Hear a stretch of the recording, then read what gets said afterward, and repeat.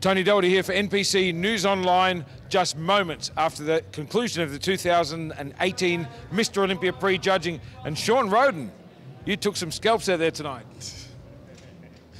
Man, it's a great feeling. I've been coming here, what, since 2011, and last year was a rough year for me. I had a broken jaw.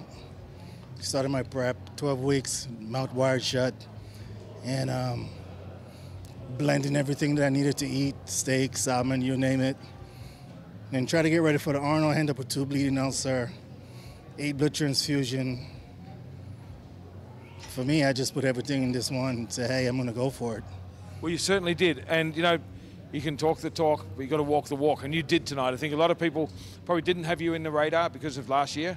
Okay. I know you like to quieten people, but you come in nice and quiet, but you really did bring it. I mean, you're like in the first call out and you're in the last call out. So you're right up there with top four. They put you next to Phil towards the end. And I know you're thinking about pose for pose.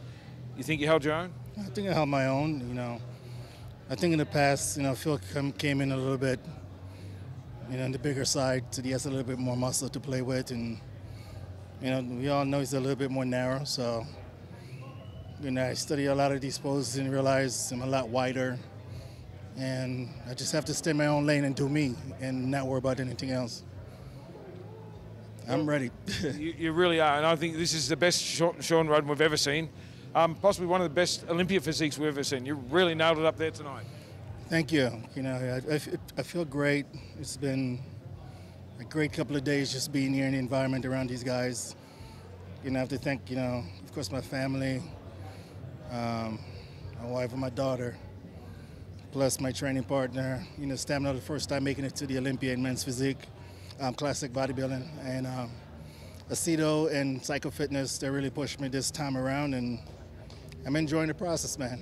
Well, I think you just lit the stage up tonight. We can't wait to see you back here in 24 hours for another interview, and let's see how it all works out. Let's see where the chips fall. Let's see where the chips fall. Well done, man. Seriously, congratulations on what you bought tonight, no matter what. That's, that's crazy. Thank you. Shawn Rhoden, Tony Doherty, NPC News Online, we're out.